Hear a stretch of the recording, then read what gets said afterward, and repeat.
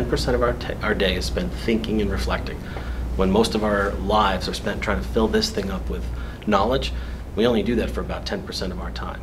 I'm Daniel Forrester, and I wrote the book Consider Harnessing the Power of Reflective Thinking in Your Organization. I'm a consultant, uh, and I've been in this business of thinking along with clients and with leaders for most of my adult life. I've been in rooms where people have been trying to structure problems uh, and think through what is it the problem that they're trying to solve and then help to give them frameworks and answers to it. So I felt pretty qualified to enter the dialogue around reflection because I think it's something that I've helped my, I've gotten paid throughout most of my adult life to help to do that. Um, as I got into it also, I, I, just like everybody else, I don't want to come across as though I'm holier than thou. I'm not. I've made my fair share of mistakes with not stepping back to think through problems. I too have been in that habitual routine to have immediacy overcome reflection. I wanted to write a book that would help me discover some new answers, and I learned as much as I hope anyone else is going to learn from what they read in the book. The firms that are able to step back from the orthodoxy, question it, and even over authorize people inside the firm to say, I wonder why we do it that way. Should we do it that way? And not just have their voices squashed down in any one session, even the most junior person to speak up. That's a firm that has and, and practices reflection a little bit more than most. It's about forcing the habits on a annual basis in which to step back from the fundamental assumptions that drive the firm and question them. Because if you don't, then they become orthodoxy. And if you have orthodoxy built up over time, it's kind of like plaque that develops inside your veins. And once you get plaque, sooner or later, it congeals, and we know what happens to people who have uh, too much plaque. I think another example of firms that are reflective are ones who don't allow the way that they create a strategy to become inside an echo chamber of just the leadership of that company. What do I mean by that?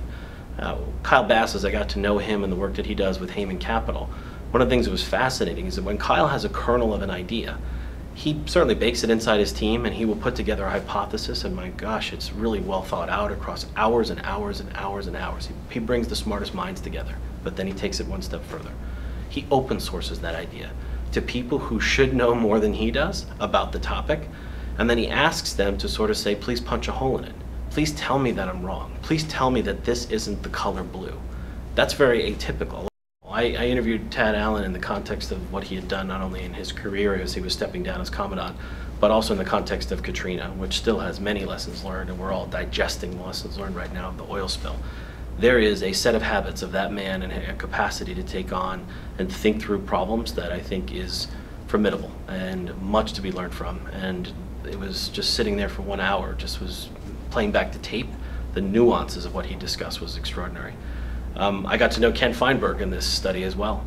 Uh, another reflective thinker that we don't, we, we tend to give very atypical assignments to. Ken is the man who ran the 9-11 Victims Compensation Fund. He then moved on to be the pay-czar for President Obama, and now he's working on figuring out how to disseminate the $20 billion for BP. My question was, not only is it atypical assignments, but how do you structure that time? Ken is a learning person. He would recognize the mistakes that he made on 9-11, working on victims' compensation, and how he's not trying not to repeat that today.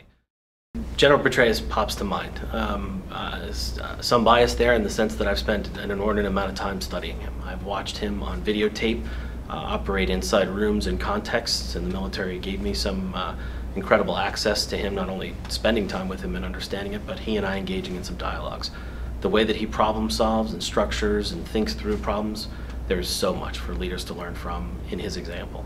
These leaders and what, what our country asks of them today, I think they take on a complexity and a context that is just stunning. So three of them really stand out in my mind. And then also on the commercial side, uh, more, more leaders like Brooksley Born, who was the head of the CTFC and an attorney in the derivative space back in the 1990s, who warned the world about what, what are the consequences of over-the-counter derivatives? She recognized that there was a good side, but she also saw that there was a potential bad side. She wanted to go there. At the same time, I juxtapose her in the book with Kyle Bass, the hedge fund manager. He's really a global investor now out of Texas, who saw the storm coming in terms of the financial crisis and actually put in a set of a set of bets against it and profited from it. What was going on? That's interesting, but what was really interesting to me was what are the habits that those two people have in mind? How do they structure their time alone?